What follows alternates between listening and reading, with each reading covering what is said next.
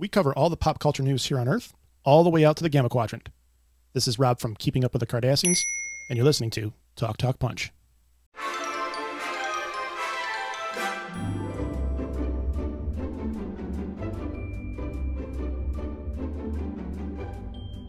It's the best TV intros of all time. This is Talk Talk Punch. Thank you so much to both our audio podcast listeners and our YouTube viewers for joining us. I'm Brody. I'm joined by, as always, by Tudong Dylan. Hey. And the man of a thousand nicknames, Charlie Hickman. All right, I like it. I've. I've run out. It's it's been a really difficult thing to try to keep up on that. So you may just be the man of a thousand nicknames for a while. I'll take it. All right. Hey, did you guys know that if at any point you like what you hear and you want to hear more of us, we do have a Patreon where you can get exclusive content about topics that you won't hear on this main channel, such as mailbags, behind the scenes, and special lists. You can find more information mm-hmm. about that in the description below. And if you haven't already, we would honestly, honestly love it if you liked, subscribed, and hit that notification bell so you can come back here every Wednesday to hang out with us and have some fun because it's a TV episode. So Charlie is happy. I am happy. And I, I was happy. I was thinking about TV intros and I was like, ooh, we should do a top three because there's some that are really good. Yeah. I'm just impressed that you can think of three TV shows, period, bro. So I'm I'm I'm guessing that your top three are just like the last three TV shows that you watch, but we'll see. We'll see. It's not true. No, like, no. the only TV shows you've watched. Nope. Nope. Not so. Not so. You'll see. I don't know. Like WWE Raw is number one for sure. I got some good ones, and I'm actually curious if we're gonna have any crossovers between the three of us. Stay tuned. We'll see. I think there's also going to be some honorable mentions at the end because there's actually I actually had more than three that I wanted to put on, and wow. I was like, wow. I can't decide. So I'm actually going to like say there's going to be some honorable mentions because. Oh, you are going to want to stick around for that because hearing Brody name more than three TV shows in a sitting is like a feat in and of itself. So there's there's at least one there's at least one other that I wasn't sure if it was going to make it on my list, and then it didn't but it's still a good one. Well, I'm sure that'll be my number one. So, okay. Are you guys ready for this? Oh yeah. What happened there? That's not the right. Let's screen. talk some TV. There it is. That's the oh, right one. Ready for this? okay. So the order today is going to be me, and then Charlie, and then Tudong. So I hope you got a good one to to go very last, Tudong. I think so. I think so. All right. My number three is a really good intro. And I I watched it every time. That's gonna be a common thing with my list at least, is whenever I would watch these episodes, I'd have to watch the whole intro because I loved it so much. And this one, oh, this one just stood out to me. Oh, it's the Daredevil Netflix show with all the red. Is it paint? Is it blood? I don't know. Ooh, paint, wow. painting the town red, but it is so cool. I just and the I song. Always, I always thought it was wax from the uh, you know the candles that you light because he's Catholic. Maybe I don't know what it is, but it looks really neat. Yeah, I believe it's it's wax that is made out of blood that is then used yeah. to paint. I ah. think is Nice. Yes. So I, I, that's I, what the wiki, the wiki says. I covered all the bases then. but yeah, I just I love from the first time I saw this, I was like, that's one of the greatest intros I think I've ever seen. And I watched it every single time for every single season because it's so good. And I love the song. The song is still my ringtone. It's been my ringtone oh. since like season one came out whenever that was. What was that? 2015 mm-hmm. or something like that? 2014? It was a long time ago, but it's been my ringtone for a long time because I really love nice. that that theme song. Oh gosh, it's so good. I'm really curious if they're going to keep this or just update it for the new so. for the new uh, Disney Plus uh, Born Again version of this show. I'm okay if they update it, but it's got to be like it's got to be the same, and it's got to use the same song. I hope same so. song. I agree. Because oh, I love it. I love it. I love it. I love it. I love it. I love it. I love it. So there you go. There's my number three. Netflix, Marvel, Daredevil. Nice. Charlie. Um, sorry, you're making me laugh over here. Uh, so uh, my my number. So look, my, my criteria was was uh, essentially stuff I I, I like. We, we, we don't really watch you know a lot of intros anymore these days, right? Because uh, w- now we have the skip intro button, which is uh, even when I like the the song or like the credits. You know, once I've seen it a few times, it's just like me. Look that skip Oh, intro. Uh, but there are some intros that have been ingrained into my into my being, my very being, from the days before there was a skip intro button. Uh, and and look, there's different kinds of intros, and at the at the risk of sounding uh trying to come off a little a little over uh intellectual, you have your like your thematic intros like that are kind of interesting you like the theme of the show. You have your atmospheric intros like this Daredevil that's kind of giving you a, a vibe that you're kind of getting, and then you have like these kind of expository intros where you're kind of going almost giving narrative uh, you know, you're showing pictures of the characters and their slappy little circumstances, or just straight up telling the story like Gilligan's Island theme. Uh, this is what the yeah. show's about. Um, oh, Gilligan's you know, Island so is a I- good I- one too. it's a good one. Very good. Very good intro. You, you- it's uh, it's the my my uh, my very first theater class. Uh, they said, all right, you you have to establish this with the scene. You have to you're going in a rowboat to go across there to like retrieve something for your family. And so we got on stage and I said, hey, why don't we all get in this rowboat? Let's go across the lake and let's go get this and bring it back to our family. And my teacher was very mad. You can't just say it all. But Gilligan's Island said, no, no, no, no. We'll say it all. You can put my number three up before I tangent off into something else. The Sopranos Hmm. was a phenomenon. It's an absolute uh, an absolute cultural phenomenon.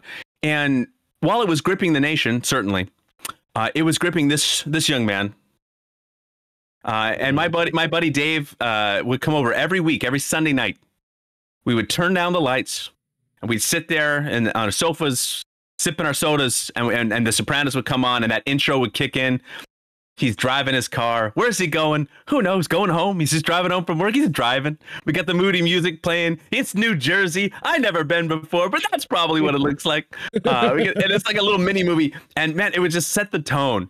And it was just and it's this minimal, minimalist like credit. Of, hey, some some would say it inspired the minimalist credit movement that you might see in shows like Daredevil, uh, where you're just kind of getting this mood, atmospheric music and tone without really telling you anything what the show is about. The show can be about anything. You, you get home and be like, hey, it's me, Tony Soprano, and I like to eat a lasagna. And he's just like, you know, and it's a sitcom, and who knows? He's just driving a car. Uh, I'm a paper boy, forget about it. But he, you know, he's a mob boss. Uh, it's, it's this is one of those shows where it's impossible to uh, sell to someone who's never seen it uh, just how good it was at the time that it debuted. Hmm. Um, because it was like just there's nothing like it, and now there's lots of things that are like it and better than it. So I can understand like people not wanting if they try to go back and watch it, going, "Really, this this was this was the fuss." But even something as simple as the intro credits was like mind blowing at the time. So The Sopranos. Never seen it. I don't know how I never saw it because I was living with you apparently when you were watching this every Sunday. So I must have been Oh, man. downstairs You, playing you video did not come. To, you did not watch Carnivàle with us. I did. And Dave and I watched every new HBO series when it came out. May he rest in peace. I was were good probably watching wrestling. Yeah, no doubt. All right, Tudong. What's your number three? Mine, oddly enough, was actually quite the opposite. It did not take the world by storm, and it, uh, it I don't want. It kind of went into obscurity, even though people were trying to kind of bring it back, and that's Firefly. It came on, and no, not a lot of people watched it. Uh, people really tried to get it back in there, and when I first watched it, I actually was watching it on the like through DVDs. DVDs borrowed, in fact, by Charlie. And I remember when I first watched it, a lot of shows it's really funny sometimes i'll like the, the you know it's really catchy and it'll come on and i'll i'll appreciate it and sometimes i'll just be like "Ah, yeah, I don't know about this, but it really, really grew on me so much that I absolutely fell in love with it. And apparently with Nathan Fillion, because man, I'd seen him in other things, I'm sure, before, but I saw him in this, and I was like, oh, oh, oh this man right here. Oh, fantastic.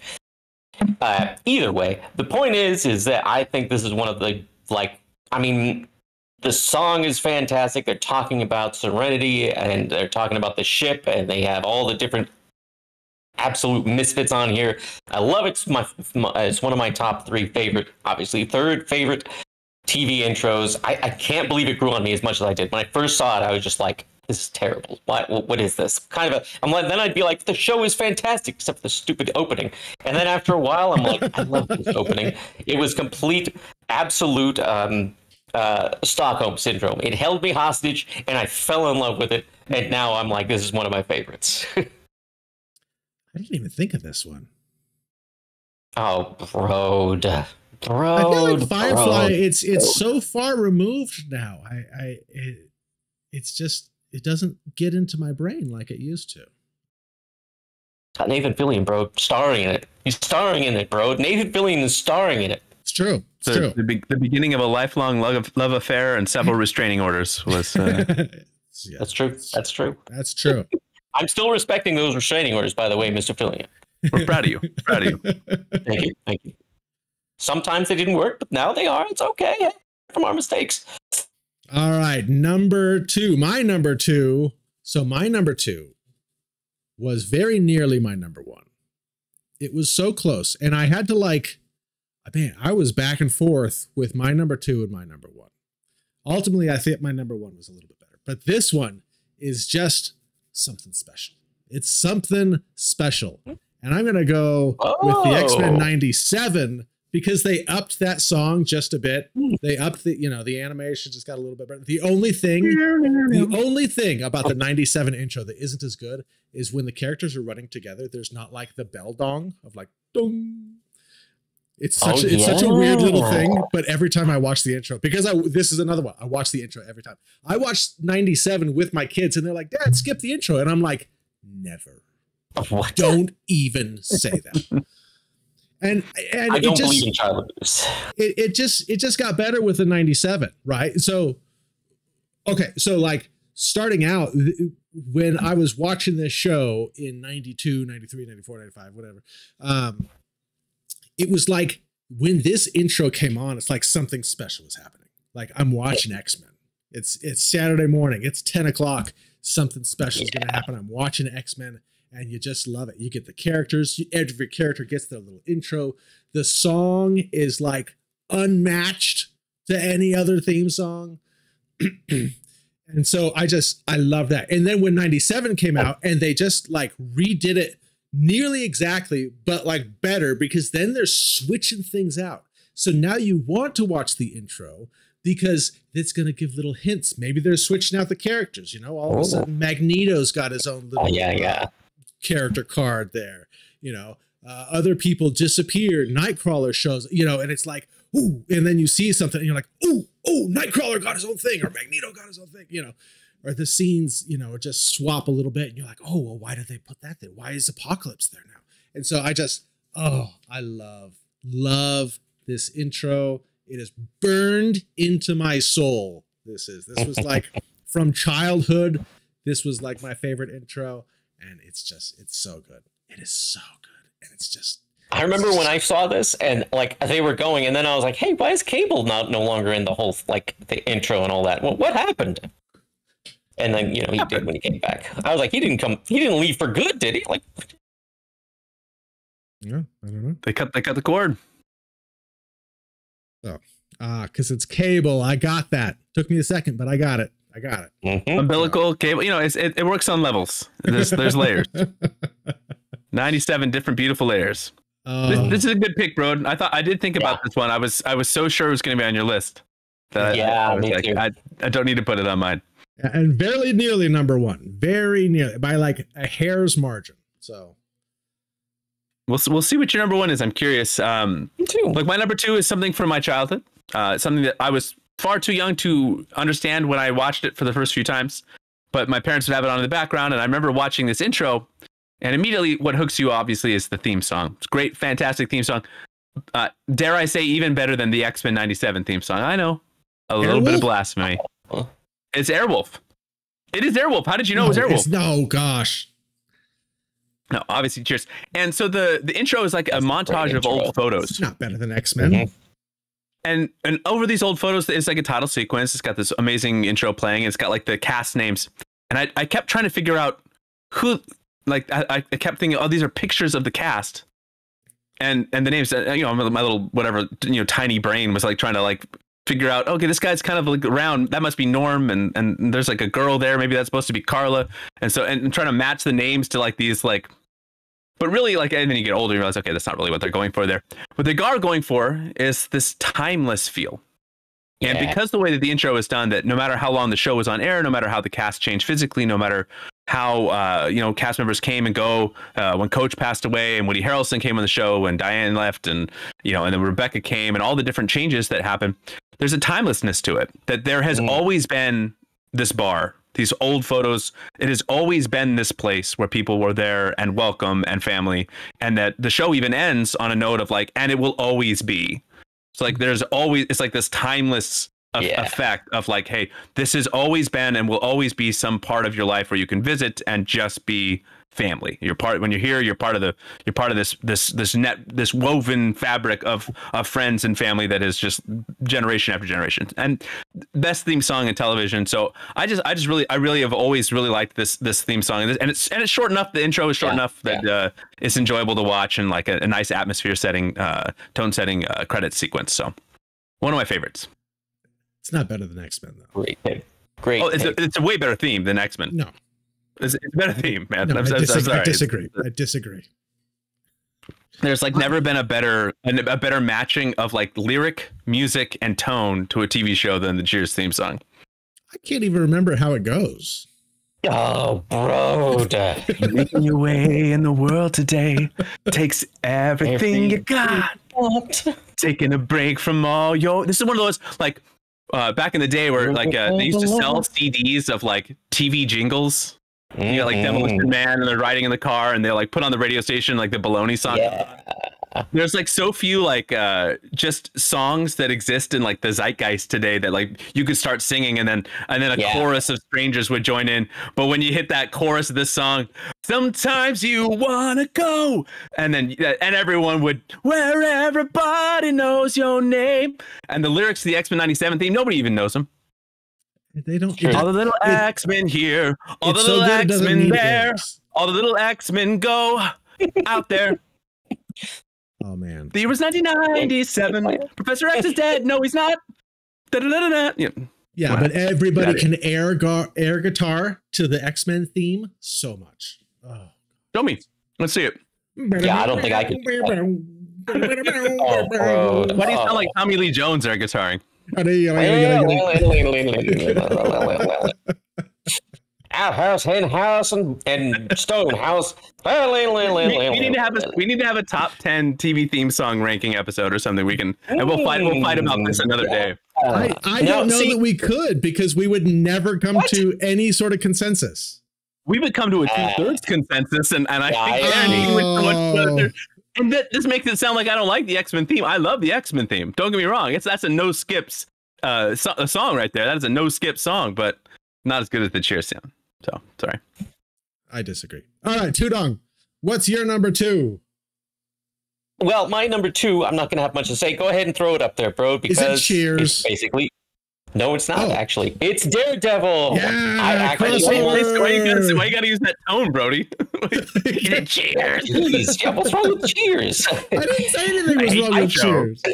I thought about Cheers. I also thought about Frasier, but I mean, the theme song is actually at the end, so it's more of an outro, and there's not a lot of good TV outros. and scrambled eggs. Yeah, it's a bit one of the best Yeah. TV outros. Yes, That's the next episode.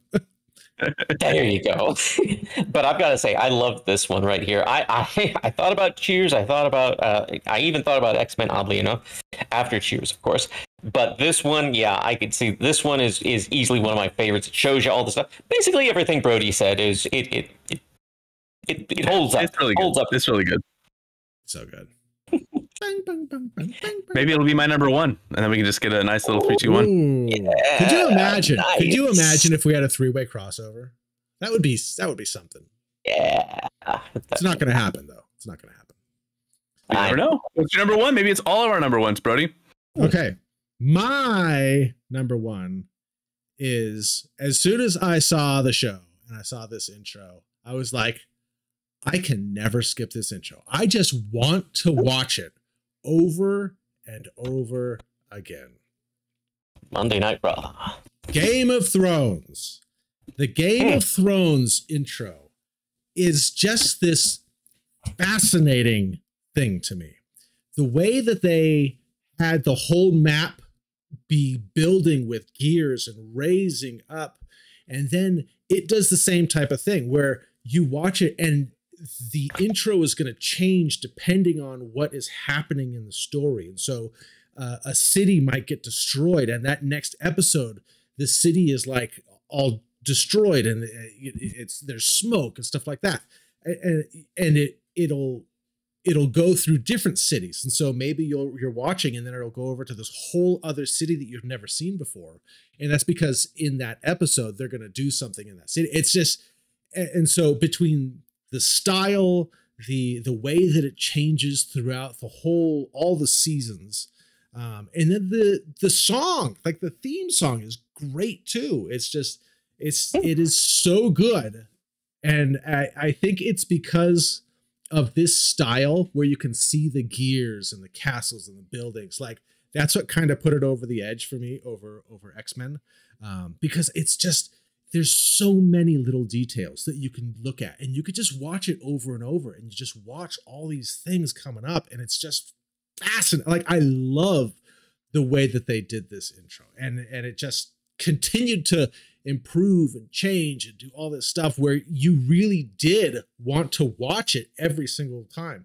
And it's it's to the point now where with like the hbo uh opener where they like whoa uh, whenever I hear that, the next thing that comes in my head is the bum bum bum bum bum, bum. and like it's just those two are just like married together, and so it's it's just Hmm. it's so good. It is so good. It's my favorite. I think it's the best intro of all time.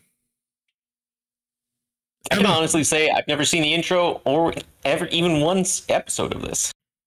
Oh, go watch Just- the just intro at least. Skip straight to the last season. That's the only good one. Oh, come now, Charlie. no, at least go watch the the intro. It's it's fascinating to watch. It's so cool. Hmm. Yeah, this intro's all right. Oh, It's all right, but it's not number one. Because I tell you, the number one is the easiest number one of all time. We have done a lot of lists on this podcast. We have done a lot of different lists. Brody's going to link to every list we've ever done in the comments below.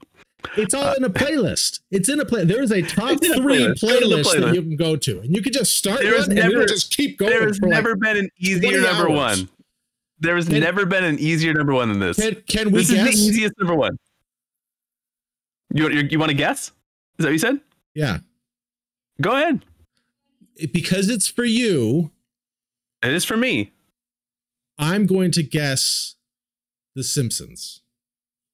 But you're guessing that not because Oh. it's for me, but because it is the correct answer. It, it, it has been on the air since 1989, and it has never had the same credit sequence twice. If you want, you want to talk about uh, looking for new little Easter eggs in here, whether That's it's the chalkboard gag or the couch gag, or even like the little scanner in the grocery store. You get to see all the lovable characters in action. It's entertaining. It's wonderful. Danny Elfman on the freaking It's score. true. Brody back, No, back it's at the true. height of Danny Elfman's powers in the 80s. It really This is one of the one of the most easily recognizable pieces of music. Uh, it is and it's just a perfectly crafted intro sequence with with uh with just a, just a, a wonderful introduction to the town and the characters Ooh. and enough newness each time that uh, you, Yeah. want to keep watching. Right, I kind of sometimes uh, if, you know if I'm watching this with the kids and we've watched a couple, you know, maybe one or two in a row, maybe I'll skip intro and then backtrack a little bit so we can see the couch gag. back it up a little bit, back that up. Um, but man, this is what a great show. And I, I made a reference Mhm. today to a 16 year old guitar student about The Simpsons, and he's like, "Yeah, I get that. I understand that reference."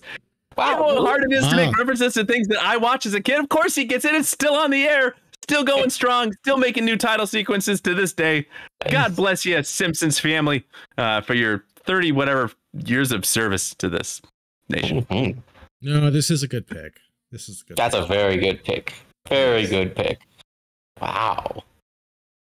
All right, Dylan, close us out with uh, with the tall the tall man TV show. Newhart. You know, I actually, I a new heart. Get out of here. No, this t- this one, it doesn't have it doesn't have a song, and it's not like it's always exactly the same. It has more of a spoken thing on there, but they but I have to say it really gets you in there, and that's the Twilight Zone.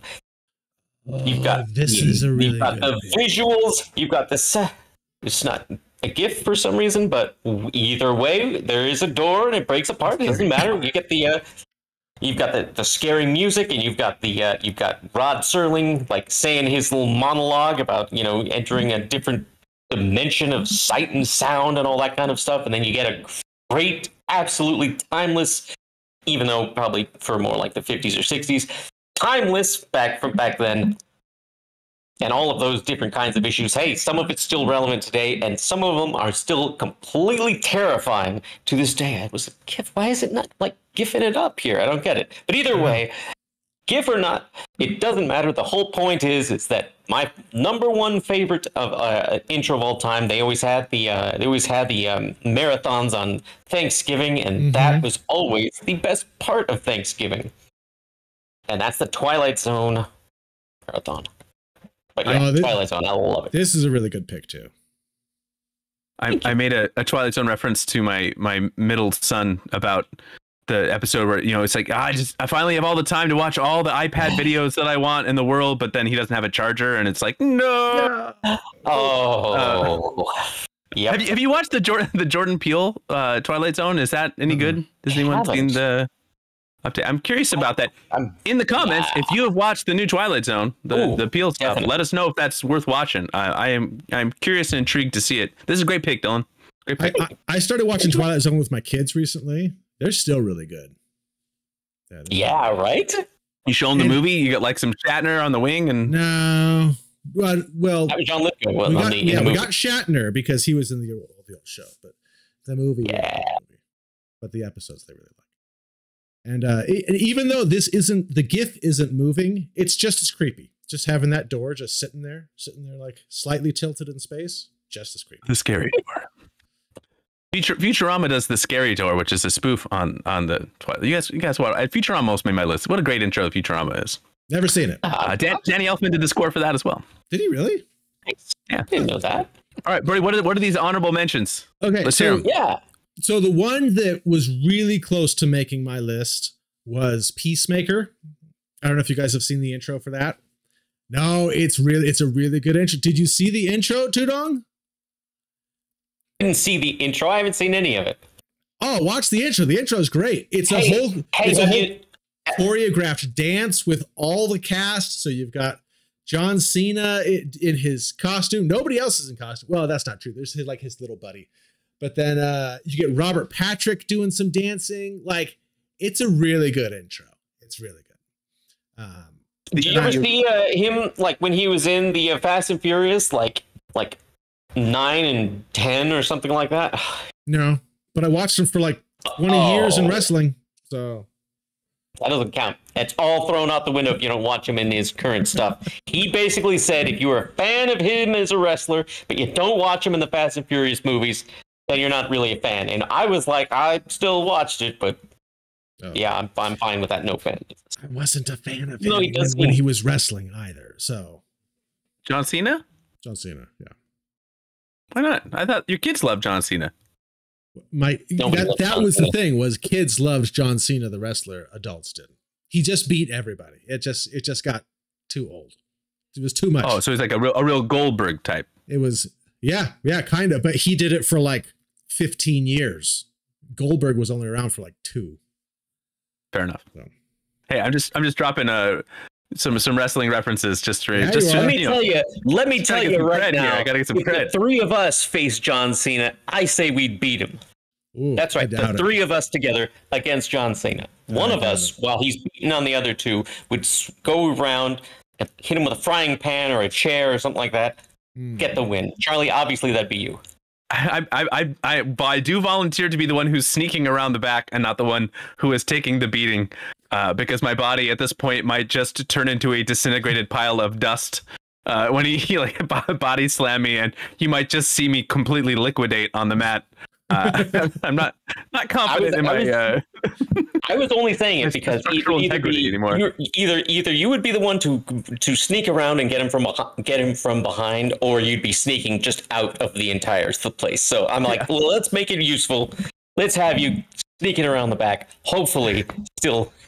We don't, we don't hear the announcers go, "Oh my gosh, he's gone completely boneless. he is just a flesh sack. Oh my gosh, I've never seen so much bonelessness on the mat before. He is literally flat. He is like a carpet." Um, Trust me, I would be working on my cardio so I can kind of run run away from him. I'd be like, bro, after we you, after you train. That's a different story. All right, now we're training. All right, now I'm in. I'm in. Yes. get some training going. Uh, he's older Um, now. It's okay. exactly. Any, any other uh, honorable gotta mentions smart. that we want to toss out there? Uh, there was something else, but I forgot it now. Oh. Yeah, I don't know. I, I can't remember what it was now. I thought I, I, I thought you might uh, have your, your favorite uh, HBO show on there, but you, you you left it off there. Which one? Yeah. Yeah, come on now. Oh, Westworld. West Westworld was really Oh, good. Westworld was yeah. a really good one. I almost put I like- Deadwood. I thought Deadwood was really good. That was good. Oh, hey, all these HBO shows. Hey, little hat tip to The Sopranos. Say thank you, thank you for the, Thanks, the Sopranos. inspiration. All right. Well, this was a good one. Uh, yeah. Charlie, you want to close us out?